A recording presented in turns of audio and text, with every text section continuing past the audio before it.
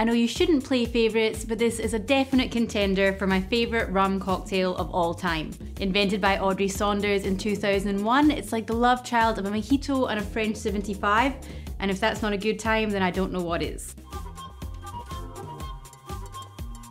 The splash of bubbles makes it feel properly decadent and using a good aged rum will add lots of complexity to this refreshing sipper.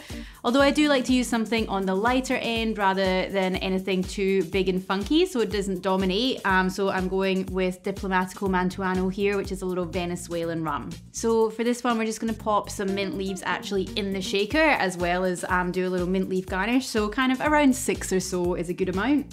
So just gonna go in with 45 mils of rum. It is International Rum Day at the moment, um, so a timely cocktail for that. Perfect amount.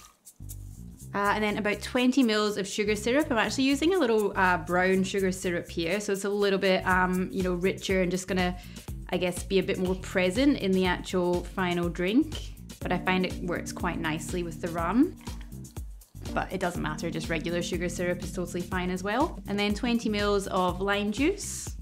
And I think one of the things that makes this drink really quite an interesting one is uh, that little dash of Angostura in there. It just really kind of lengthens it out um, and yeah, just gives it a bit more going on than kind of just your classic um, classic sour. So a good couple of dashes. Now we're gonna be topping up with a sparkling. You don't wanna put your sparkling in your shaker unless you fancy a big explosion everywhere, uh, which would probably get a little bit messy with all the sugar and stuff in there. So that'll just be topped up once we've shaken it.